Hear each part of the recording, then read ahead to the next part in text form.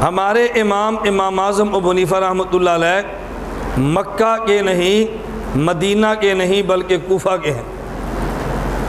इस पर गैर मुकलदीन शोर मचाते हैं, न तुम्हें इमाम मक्का मुकरमा का मिला, न इमाम मदीना मुनवरा का मिला, तुम्हें इमाम मिला तो वो भी कोफा का मिला। तो तुम्हें कोफा का इमाम मिला है, मक्का और मदीना का इमाम नहीं मिला। जब कोई बंदा ये सवाल करे ना, आपने सीना तान के कहना है कि पहला इमाम मक्का और मदीना का नहीं, पहला इमाम होना ही कोफा का चाहिए। क्या कहना है? पहला इमाम मक्का और मदीना का नहीं, बल्कि पहला इमाम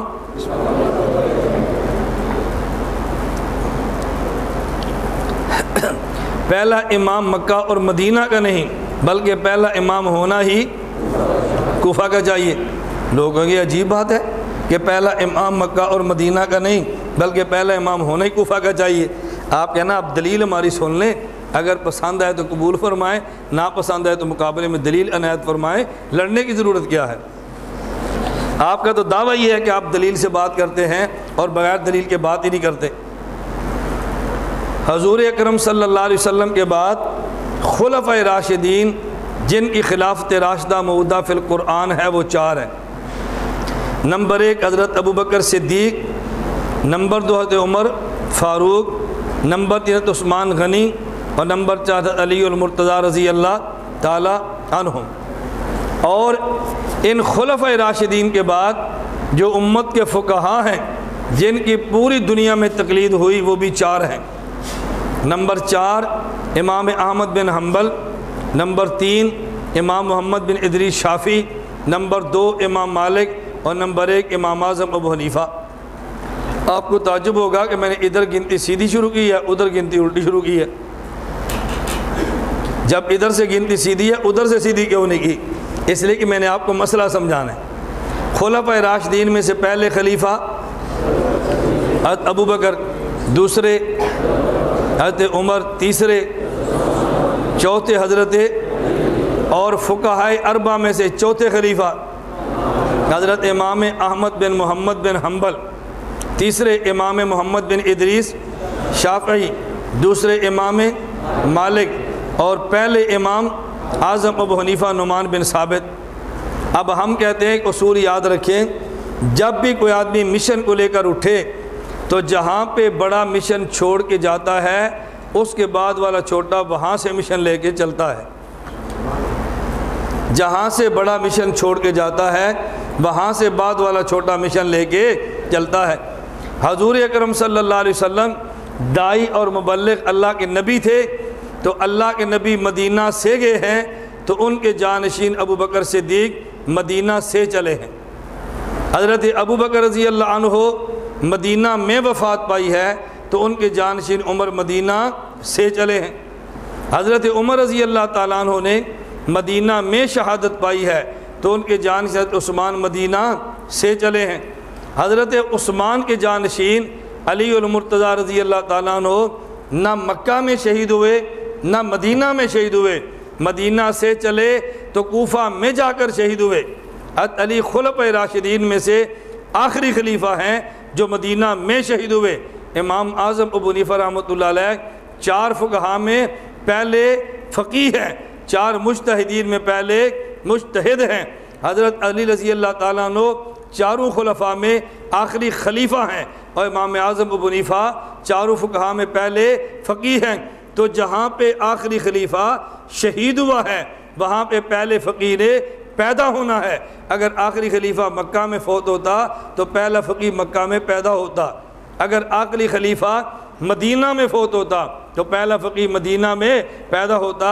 जब आखिरी खलीफा कोफा से गया है तो पहले फ़कीर ने कोफा में आना था। इसलिए कोफा आखिरी खलीफा की जाए शहादत है तो पहले इमाम की जाए विलादत है। बात समझ आ रही है? अब बताओ, पहले इमाम को कहा आना चाहिए था? मक्का, मदीना या कोफा? इसलिए हमारे इमाम को आना ही कोफा में चाहिए था। इसमें इतराज़ की बात कौन थी है? लेकिन ये तब है जब आपको बात समझ आए। मैं इसलिए कहता हूँ हमें समझ आए ना तो फिर समझाना बहुत आसान है। आदमी सीना तान के चलता है और अपने इलम की दुनिया में मस्त होता है। कोई मुझसे सवाल करे और मैं जवाब दूँ। और अगर दिल में जवाब नहीं होगा, ये चलता भी होगा और परेशान भी होगा कि मुझसे पूछ ना ले, तुम्हारा इमाम कोफा का क्यों है?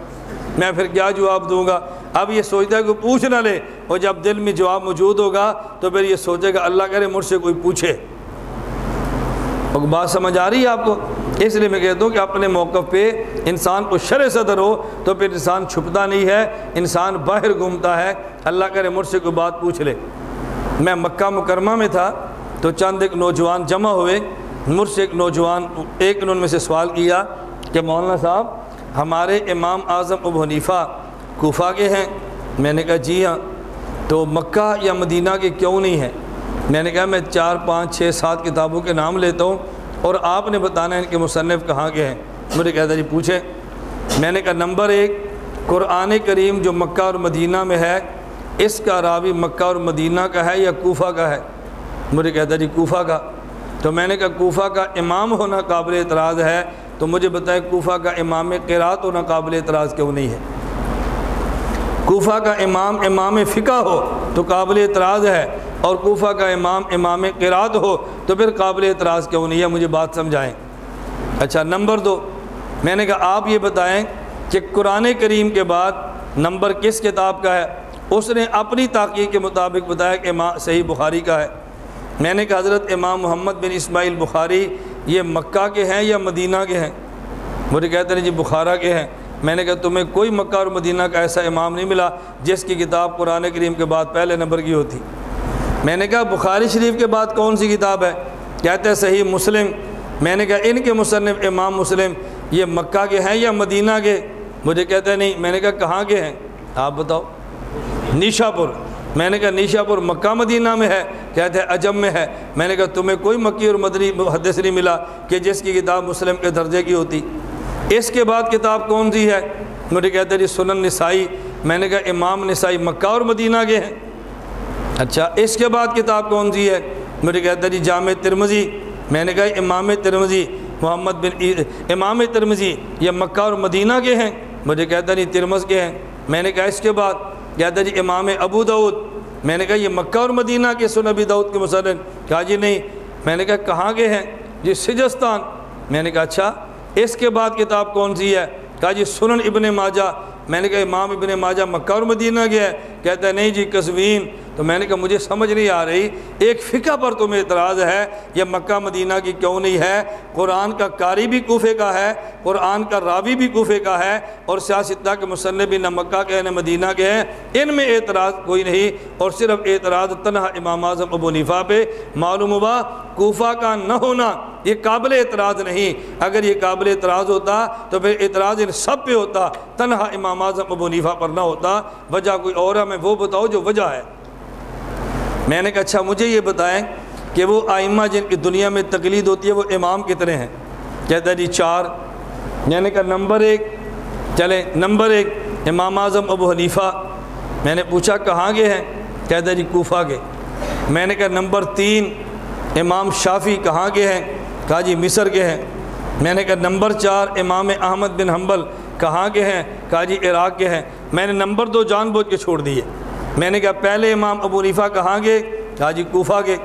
मैंने कहा, दूसरे इमा तीसरे इमाम शाफ़ी कहाँ गए कहा जी मिस्र के। मैंने कहा, चौथे इमाम अहमद कहाँ गए कहा जी वो इराक़ के। तो मैंने कहा, आप तकलीद किस इमाम की करते हो? ये कोफा वाले की। कहते हैं, नहीं। ना, मैंने कहा, किस की करते हो? कहा मिस्र वाले की। मैंने कहा, क्यों? इमाम मालिक मदीना के हैं तो मदीने वाले की तकलीद करो ना। नहीं समझे? जो इमाम मदीने का था, तुम उसे नहीं मानते। जो मिस्र का है, उसे मानते हो। जो इमाम मदीने का है, उसे नहीं मानते। जो इमाम इराक का है, उसे मानते हो। इमाम बनीफा मक्का के होते तो फिर आपने मान लेना था।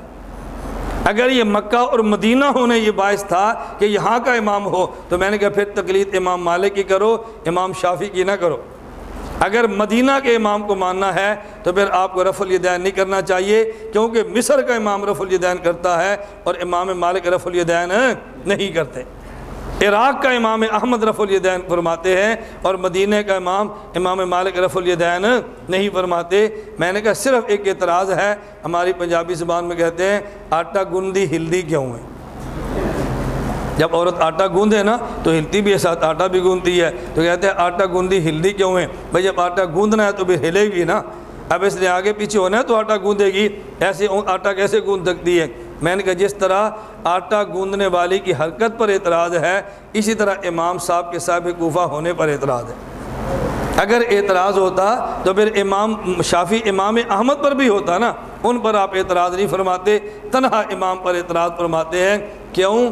ला खैर फ़ी मल्ला हासिद अला ला खैर फ़ी मल्ला हासिद अला जिस आदमी का हासिद ना हो, उसमें भलाई कोई नहीं होती। और जिस आदमी का हल्का जितना बड़ा हो, उसके मुखालिफ भी इतने बड़े होते हैं। अल्लाह आपका हल्का बढ़ा दे और अल्लाह आपके मुखालिफ कम कर दे। हम ये नहीं कहते आपके मुखालिफ ज़्यादा हो जाए, हम कहते हैं अल्लाह आपका हल्का बढ़ा दे और आपके मुखालिफ कम कर दे। हल्का बड़ा होना अल्लाह की नेमत है और मुखालिफ ज़्यादा हो जाए, इस मुखालफत को संभालना हर किसी के बस में नहीं होता। अल्लाह आपकी भी हिफाजत फरमाए, अल्लाह मेरी भी हिफाजत फरमाए, अल्लाह इस मरकज़ की भी हिफाजत फरमाए। बाखिर दावाना अनिलहमदिल्ला रबालमीन